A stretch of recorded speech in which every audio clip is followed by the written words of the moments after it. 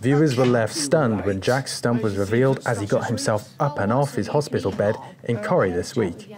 Young Jack sadly lost his foot after contracting sepsis, but fans were so impressed by the realistic stump, they had to Google to see if actor Kyran Bowes hadn't had his foot amputated in real life. The little actor was in fact fitted with a special sock, which was edited out by special effects.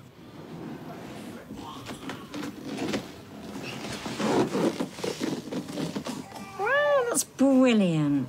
You okay, Dad? Yeah, I'm fine.